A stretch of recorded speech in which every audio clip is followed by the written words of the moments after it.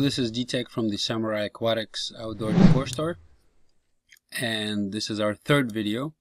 In our last video we made three files, LOD0, 1, and 2. So we're going to start with LOD0 and the process is going to be the same for each file.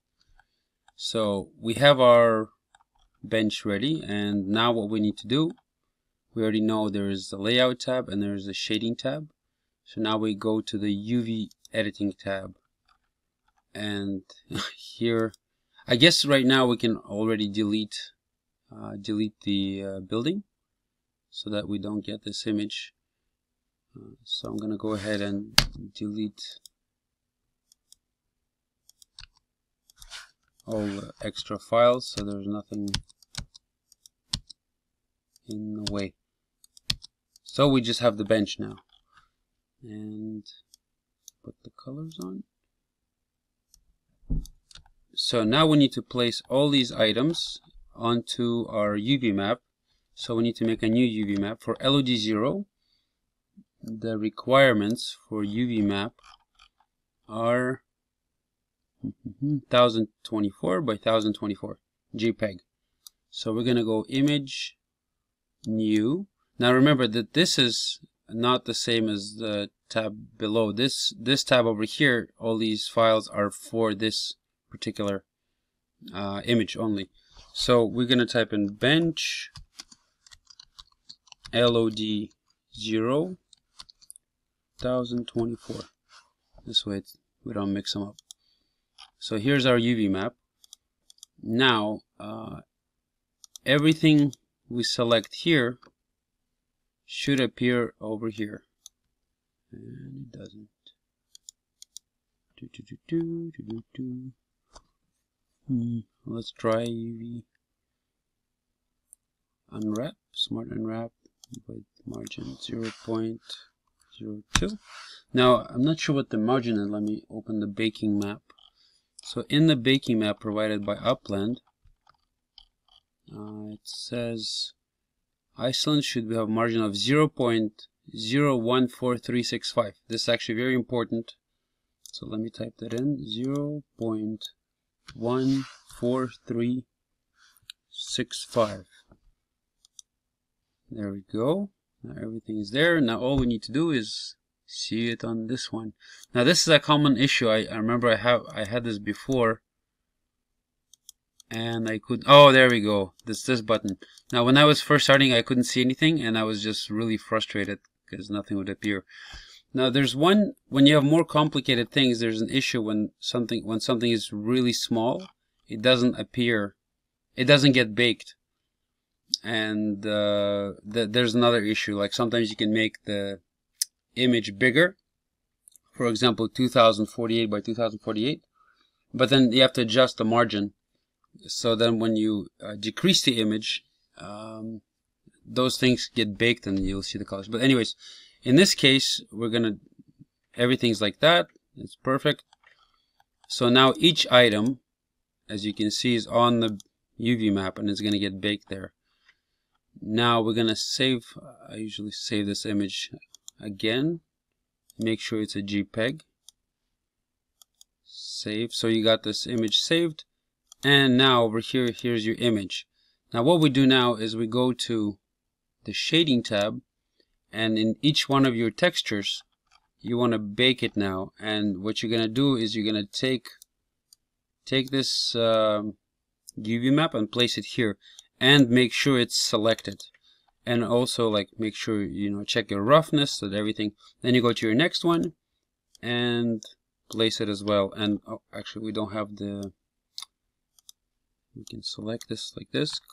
Control C and control V. Oh, Control C, Control V, and we can connect it like that. So I don't think it, it helps here, but anyways. So now make sure it's selected. Go through all your uh, layers before baking again and make sure everything's selected. So now this is your UV map here and these items will be baked onto the uh, UV map and the baking happens, I guess, over here. So you have this selected. When you bake it, bakes here. It's, it's a little like complicated to understand. I still can't say I totally understand it. So now we're in the layout tab. I usually do it in the layout layout tab. I go to the uh, what's called render properties. Make sure I think it's cycles. Yeah, you go. You make sure it's selected uh, with cycles. Go to bake, and here we select the margin. So let's look at our um, just a second our tab with all the baking properties and output margin of 6 okay so now we go here and we type in 6 pixels margin.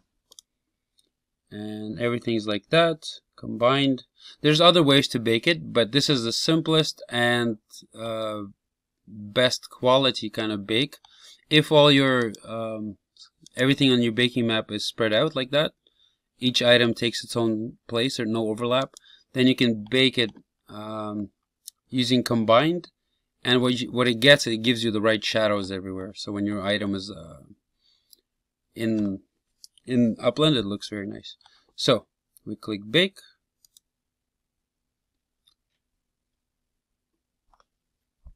And it's baking.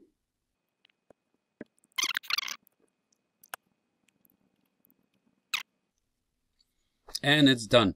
So now we go to UV editing and we see if we unselect everything you can see all the bakes are there and you can see some are missing as you can see these lines did not bake only one of them bake so in this case we can either like try making a bigger UV map or you can just I, I usually just Photoshop which is kind of cheating but I can kind of copy one of these and place it everywhere. So apart from these really tiny lines and this one, everything else seems to be good.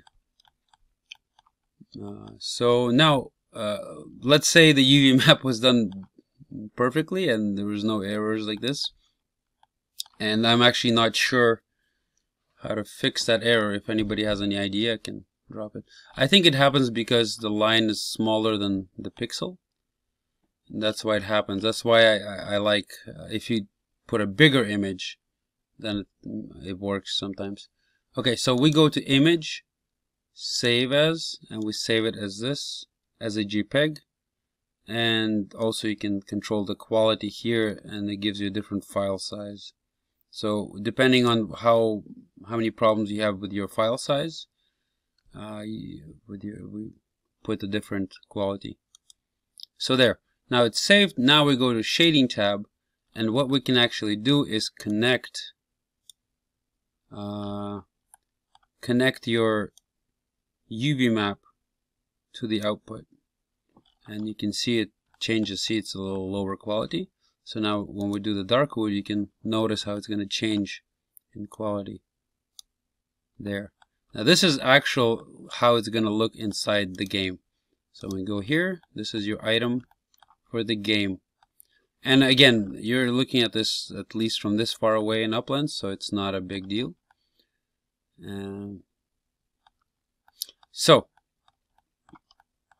I guess this is the end for this video. Next video is the most important. It's how to prepare the, your baked file for uh, handing in, handing, handing it in, handing it in.